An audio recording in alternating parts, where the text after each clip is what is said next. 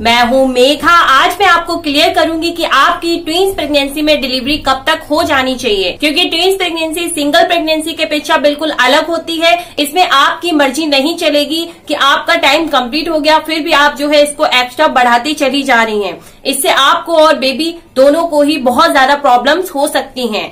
तो मैं आपको सबसे पहले क्लियर कर दूँ कि ट्विंस डिलीवरी का जो सही समय माना जाता है, वो है 37 वीक्स के बाद में आपकी ट्विंस डिलीवरी हर हाल में हो जानी चाहिए। फिर चाहे वो आपकी सी सेक्शन द्वारा हो या फिर आपकी नॉर्मल डिलीवरी हो, इससे कोई भी फ़र्क नहीं पड़ता है। क्योंकि जो ट्विंस होते हैं, वो 37 सेवन वीक्स कंप्लीट होते होते बिल्कुल मेच्योर हो जाते हैं एंड उनके जो फेफड़े वगैरह भी होते हैं, वो भी बिल्कुल रेडी हो जाते हैं। तो 37 सेवन वीक्स कंप्लीट होने के बाद में उनको और ज़्यादा गर्भावस्था में रखना बहुत ज़्यादा घातक हो सकता है, क्योंकि ट्विंस होते हैं, जिस वजह से जो आपका यूट्रस होता है, जब वो फुल साइज़ के हो जाती हैं तो यूट्रस में बिल्कुल भी जगह नहीं बचती है। तो ट्विंस जो होते हैं, वो एकदम से बिल्कुल ही फंसे फंसे से लास्ट में रहने लगते हैं। क्योंकि क्या होता है, जिन ट्विंस को टाइम पूरा होने के बाद भी बहुत लंबे समय तक गर्भाशय के अंदर रखा जाता है तो उनमें कोई ना कोई अंग में डिफेक्ट आने के चांस बढ़ जाते हैं, या फिर उनके लिए कोई ना कोई प्रॉब्लम क्रिएट होती है। एंड ऐसे ट्विंस को बाहर निकालने के बाद में भी उनको बचाना बहुत मुश्किल हो जाता है। तो इसलिए आपको बिल्कुल भी रिस्क लेने की ज़रूरत नहीं है।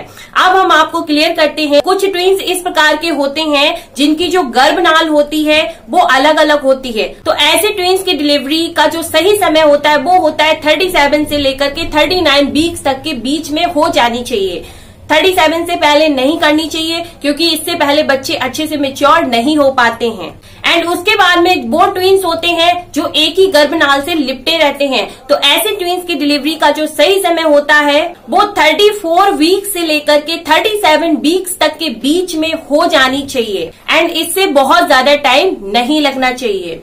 अब मैं आपको एक बात और क्लियर कर दूँ कि जो महिलाएँ ट्वींस प्रेगनेंसी में पूरी प्रेगनेंसी बिल्कुल स्वस्थ रहती हैं, उनको किसी भी तरीके की कोई गंभीर बीमारी नहीं होती है, जैसे डायबिटीज़ हाई ब्लड प्रेशर या फिर कोई भी अदर प्रॉब्लम्स नहीं होती है तो उनके जो ट्विंस होते हैं, वो 37 वीक्स तक बिल्कुल अच्छे से मेच्योर हो जाते हैं, उनको कोई भी प्रॉब्लम नहीं होती है। लेकिन जिन महिलाओं को डायबिटीज़ या फिर और कोई बीमारी रहती है, ऐसी महिलाओं के जो ट्विंस होते हैं, वो मेच्योर होने में बहुत ज़्यादा पीछे रहते हैं। अब हम आपको कुछ पॉइंट और क्लियर कर दें कि जो महिलाएँ बिल्कुल स्वस्थ होती हैं, उन्हें किसी भी प्रकार की कोई भी गंभीर बीमारी नहीं होती है स्पेशली प्रेगनेंसी के दौरान। और उनके जो बच्चे होते हैं, वो दोनों ही सही पोजीशन में होते हैं मतलब वो दोनों ही सीधे रहते हैं। एंड उसके बाद में अगर आपने अपने ट्वींस का कलर डॉपलर भी करवा लिया है तो उसमें भी कोई प्रॉब्लम क्रिएट नहीं हो रही है। एंड पूरी तरह से सब कुछ ठीक है। तो ऐसी महिलाएँ डिलीवरी के लिए अपने दर्द होने तक का इंतज़ार बिल्कुल कर सकती हैं, कोई भी दिक्कत वाली बात नहीं होती है।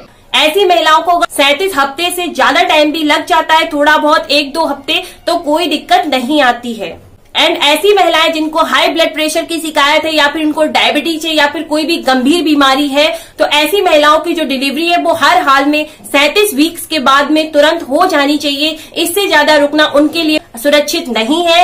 एंड ज़्यादा टाइम खींचना बच्चे के लिए भी बिल्कुल घातक है। तो ऐसी महिलाओं को सही समय पे सही डिसीज़न बिल्कुल लेना चाहिए। जिन ट्विंस की डिलीवरी सैतीस वीक्स के बाद में हो जाती है तो वो बिल्कुल मिच्योर तो होते हैं और साथ ही में उनके साथ में जो हेल्थ प्रॉब्लम आती है, वो भी बहुत कम हो जाती है एंड उनको ज़्यादातर डॉक्टरों की ज़रूरत बिल्कुल भी नहीं पड़ती है। तो इसलिए आप इस बात का ज़रूर ध्यान रखिए कि आपको ट्विंस डिलीवरी के लिए सही समय पर सही डिसीज़न लेना बहुत ज़्यादा ज़रूरी है।